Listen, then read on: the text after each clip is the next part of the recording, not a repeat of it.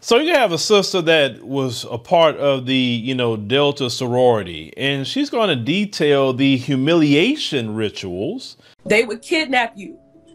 Like on top of that, like not even the Deltas, but like if the Qs, which was the brother for uh, fraternity of us, caught us, they could kidnap us, and then they would have to call your license. They would have to come get you. Like they could do whatever, you know what I mean, to you. Like you know, you would have to get in a cut, which I mean, like take licks. Um, everything. They smile wipe you. They do this thing where they make you sit in delta chair, which is basically like squats. They sit on you. They spit on you. They hit. You they know what I mean? spit on you. Hair.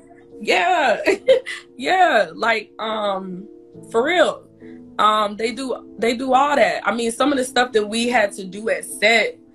I mean, the most demeaning, disgusting stuff that you could ever imagine. We would do this thing called Delta Apple, where we would literally all take and bite out of the onion and like pass it to each other.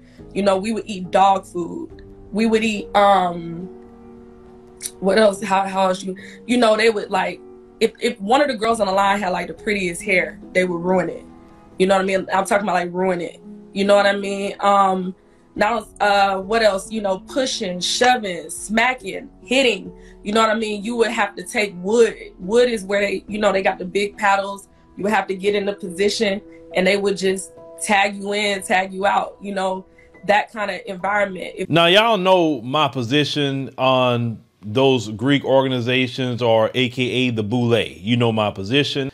A lot of them are enemies of black society.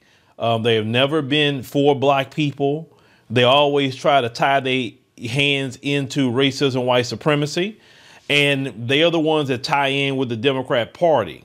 You understand what I'm saying? And they get their little trinkets, but to make sure to sell us down the river. If you look at most of these black politicians, if you look at a lot of these black news anchors that's out there that got voices, if you do the research, a lot of them is connected to these, you know, uh, uh, sororities. And I always say, I remember one time they got mad with me when on Twitter. I say, y'all are black people, African descent. Why in the world y'all talking about a Greek organization? Last time I checked, Greek was white folk. You're not white. And white supremacy don't accept you. Greeks don't accept you. So what you talking about a Greek organization? I'm like, oh, he he come, he this is this is a super black, pro black. I'm like, no, it's not super pro black anything. I'm just asking a question. Why can't you call yourselves an African organization or something like that? You calling yourself a Greek? Oh, and then they get upset. They get upset when you talk about them. Oh my God, they get more upset when you talk about their sorority, then you talk about their own community. Seriously, they get pissed off. I mean, one time I was talking about one of them. Well, I was talking to the husband of one of them actually, and I was saying something about their organization, and then the husband started getting involved with the conversation. She got so upset. But uh, now I'm kind of understanding, like, why would you go through humiliation rituals be a part of that? Like, why would you go through humiliation rituals be a part of that? But then of course, some of them gonna come on here. She's lying. That didn't happen to her. We didn't do this. We didn't do that. You know, I've had guys say the same thing. Oh, well, what's wrong with the uh, uh, sororities? What are y'all doing for the black community? Not a freaking thing. Because y'all getting these so-called sororities and y'all practice nepotism. Y'all don't do nothing for the black community whatsoever. Yes, we do. We give out turkeys for Thanksgiving, and we give out a toy drive on Christmas. Once again, you doing nothing for the black community.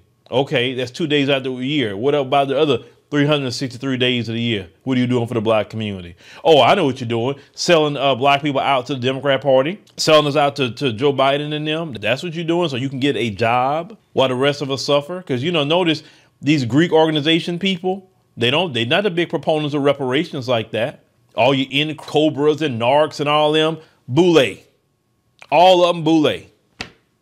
And that's why they don't like me. They don't like me because I, I, I have been told they don't like me like that because I called them out and that's fine. But if you were supposedly for the black community, you could take criticism, but you don't want to take criticism because messing up your hustle with white mommy and white daddy. But why would you go through anything like that? Why would you allow someone to make you eat an onion? Why would you let someone to hit you with a paddle? Why would you let someone just to humiliate and disrespect you like? To get an organization, I'm like, man, forget your organization. Your organization not doing anything.